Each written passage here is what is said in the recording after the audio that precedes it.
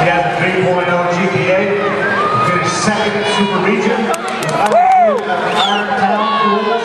And he finished first. His opponent from Wasatch High School, Parker as a senior with a 26-12 record. Jay and Horton. He has a 3.4 GPA. He placed third at the Bear River and third at Divisional. Brown of Manti is a junior with a record of 27 and 9. His parents are Josh and Stacy, GPA of 3.4. He